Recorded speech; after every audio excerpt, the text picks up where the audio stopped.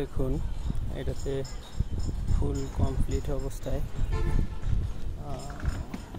আমরা দেখি এখানে তাদের এক্সট্রা টপ ইউজ করা হয়েছে। তো দেখুন, এখানে ক্র্যাঙ্ক করে একটা ক্র্যাঙ্ক বার, একটা ক্র্যাঙ্ক বার। বারের পাশে আরেকটা বার আছে, একটা কাটা দেখেন এই পর্যন্ত। এটাকে বলা হয় এক্সট্রা টপ তো এইটা ক্র্যাঙ্ক বার ক্র্যাঙ্ক বারের পাশে স্টেটটা গেছে, এটা আছে বটন বার, এটা টপ বার, এটা দেখেন বিমের উপর দিয়ে উঠে চলে গিয়েছে।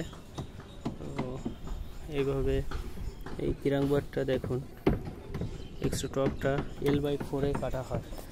এল বাই ফোরে ক্র্যাঙ্কটা দেওয়া হয় এবং ক্রাঙের গোড়া পর্যন্ত, গোড়া থেকেও তিন চার ইঞ্চি সরিয়ে রেখে এই বারটা দেওয়া হয়। এবং এই বাই ফোর হিসাব করলে একটা রুমের লেন্থ যে লেন্থ আছে, সেই লেন্থের চার ভাগের এক ভাগে এক্সট্রা টপটা দেওয়া হয়, বা এক্সট্রা যে ক্রাঙ্কটা করা হয়, সেই ক্রাঙ্কটা দেওয়া হয়। আমরা যদি লম্বালম্বিভাবে দেখি, তো দেখেন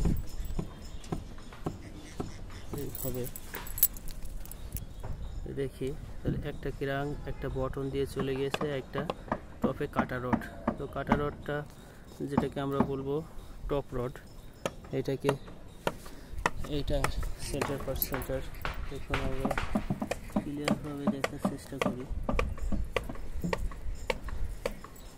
তো রড প্লেসমেন্টটা একটু দেখি, কীভাবে রডটা চলে গিয়েছে। এই একটা কিরাংবার এই কিরাংবারটা সোজা চলে গেছে দেখেন এই মাথা থেকে ওই মাথা পর্যন্ত একই কিরাঙে। এটা এই কিরাং হয়ে টপ, বিমের উপরে টপ, তারপরে আবার নিচে ওই পাশে গিয়ে বিমের অপোজিট পাশে এল বাই ফোর পোর্শনে যাওয়ার পরে ওই জায়গা থেকে আবার বটন বার গিয়ে পরবর্তী আবার সাপোর্ট যেখানে, সেই জায়গা থেকে এল বাই ফোরে ক্রাঙ্ক হয়ে উঠে চলে যাবে। তো নিচে যে বটন যাবে বটনের উপরে ফাঁকা থাকে, সেই ফাঁকা জায়গাতে এক্সট্রা টপ প্রোভাইড করা হয়। এখন আমরা ইঞ্জিনিয়াররা সাধারণত এক্সট্রা টপটা ক্যালকুলেশন করে থাকি বিভিন্ন উপায়ে।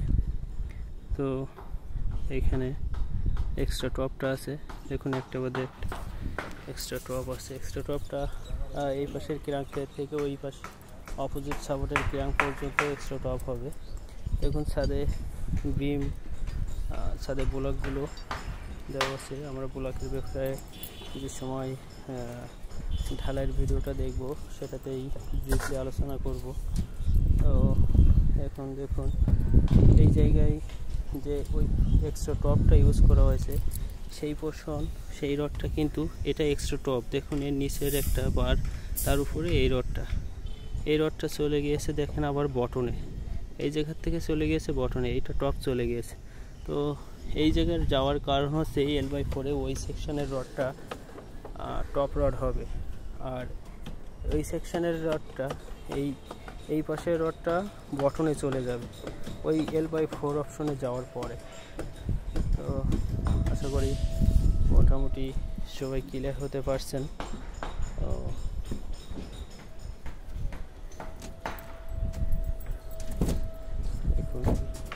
মাঝের এটাকে বলা হয় চেয়ার জারি।